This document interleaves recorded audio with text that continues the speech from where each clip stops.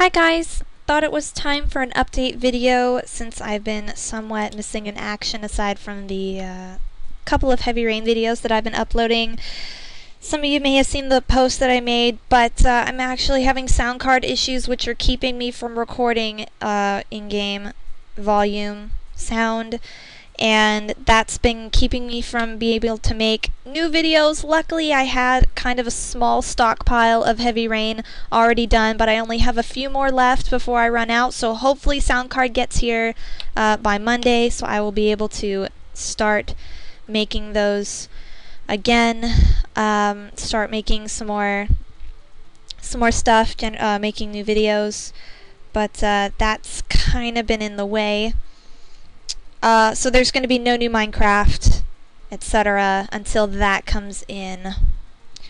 Um, I was planning on working out the problems with the longest journey that I've had. Just, you know, first episode of that series came out and it it was just it wasn't looking too great so i needed to tweak with some things try to get it working properly as well as issues i was having with recording the cinematics Recording the cinematics is impossible with Fraps, so I had to go a very complicated, out of the way route to getting those in there. It's very, very time consuming, and it's not something I can work on without a functioning sound card. But thank you to Mad Liquid, who's been helping me through the process. Eternally grateful for um, all the tech support he's been providing me with, with getting uh, these issues kind of ironed out as much as I can. As far as the longest journey goes, uh, Dreamfall, the the the sequel to the longest journey, I I did that as one of my very first series, like just as kind of a test for this whole let's play idea thing, and it went really well, and I loved the game. Unfortunately, one of my favorite let's players and one that I highly recommend, Dylandu 3000, also did Dreamfall and The Longest Journey unfortunately I did not know that at the time and I just personally I don't I don't like to um, uh, I don't like to cover a game that one of my favorite Let's Players already did just because it seems a bit repetitious and um, you know clearly wouldn't live up to the uh, standard that they've already set. However, since I already did Dreamfall and I really, really like The Longest Journey, and I do have somewhat of a different perspective, Dylandu being somewhat of an expert, not somewhat, being an expert on, um, you know, those games. Uh, whereas I'm playing it blind, it's going to be different. But uh, also, in case you guys didn't realize, some of you probably have already noticed this about me fairly certain that I have ADD or something like that to some extent. Some of you are probably like, uh, yeah. Anyways, Minecraft textures. Mine bunch of people have been asking about the Minecraft textures. Think that I've answered about 50 billion times now that it's primarily painterly default textures and some other custom textures that were not made by me and that the texture pack was given to me However, um, it's now going to be made available. Hooray! Thank you to Davon Refney, who put the pack together and has made it available for upload, upload, download, available for download for people who would like to use the texture pack. There's going to be two of them. One of them is an older version of my texture pack without the new, awesome, delicious looking cheesecake. Uh, and without the Halo Iron Armor that I currently wear. They're going to be fairly uh, straightforward labeled. So the one that has Rose in the title is the one that I personally use. So you guys can upload or download that, be happy, use it if you like. Fantastic. Uh, right. So I promised you guys some 1K subscription specials, and I was actually working on them right at the moment that my sound card gave me a big middle finger in the face.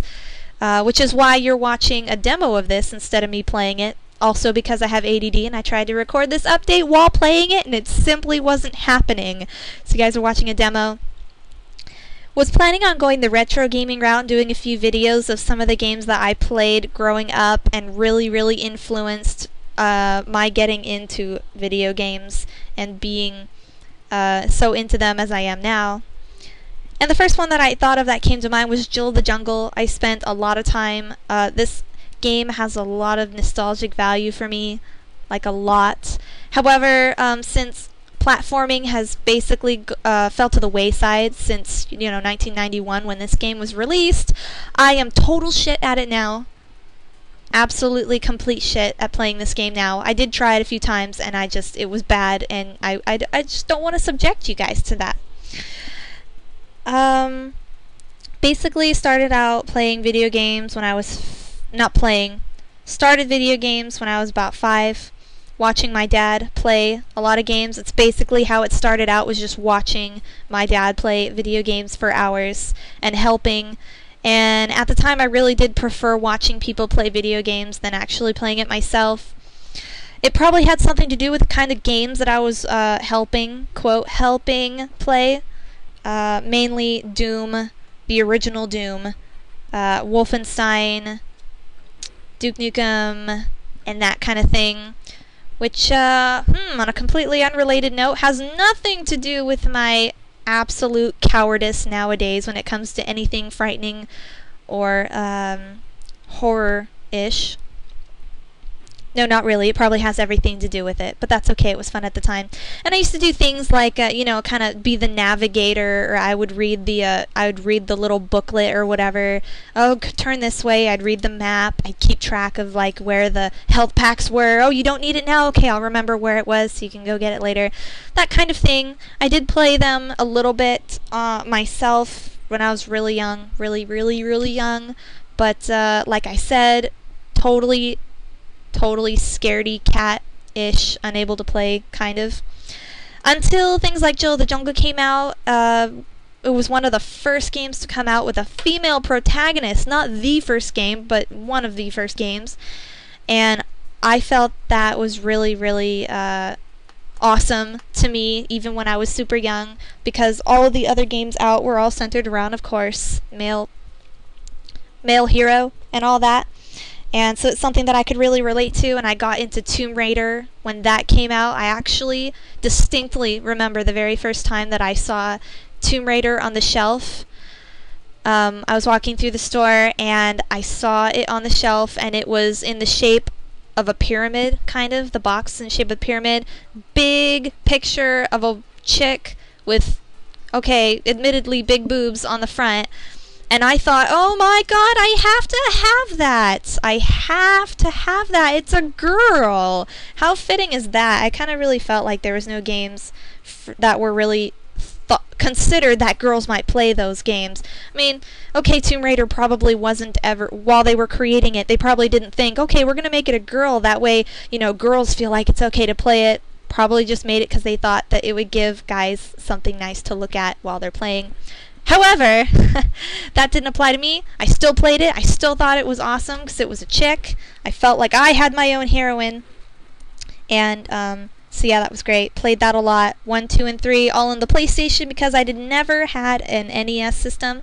Never had any any Nintendo products. Not because I was boycotting them or I disliked them or anything like that. It was just really a financial matter that I never had a Nintendo.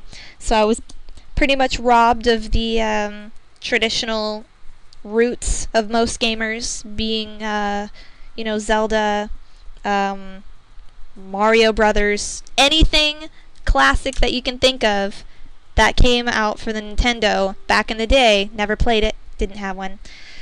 Um, had an exceptionally old hand-me-down Sega at one point when I was growing up, which basically meant lots of Sonic the Hedgehog. But other than that, that was about it. So, most of my gaming is geared towards PC gaming, just because that's that's basically what I've I, what I've grown up with and experienced. I did have a PS2, and I spent a lot of time on that. But um, yeah, I think I really do prefer PC gaming for most genres. Anyways, um, oh, and also Myst. I cannot forget Myst.